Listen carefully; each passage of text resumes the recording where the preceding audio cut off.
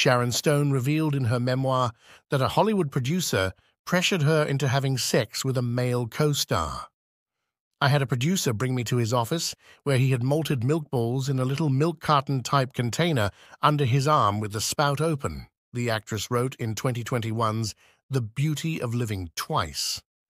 He walked back and forth in his office with the balls falling out of the spout and rolling all over the wood floor as he explained to me why I should fuck my co-star so that we could have on-screen chemistry. Stone didn't reveal the identity of anyone involved then, but she has now. The producer was Robert Evans, the actor was Billy Baldwin, and the movie was 1993's Sliver, her follow-up film to Basic Instinct.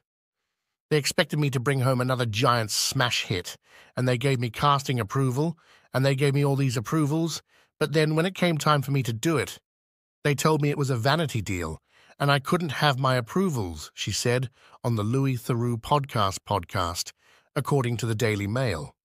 Then they started to try to blame me for their mistakes, and they made terrible mistakes in the way that they hired directors and cast.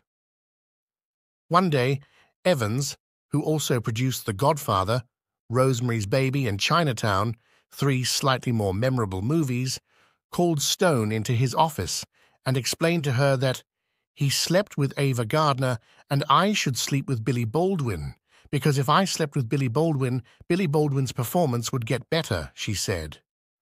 And we needed Billy to get better in the movie because that was the problem.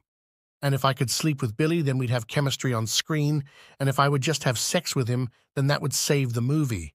And the real problem with the movie was me, because I was so uptight and so not like a real actress who could just fuck him and get things back on track. The real problem was I was such a tight ass. Stone added, Now all of a sudden, I'm in the I have to fuck people business.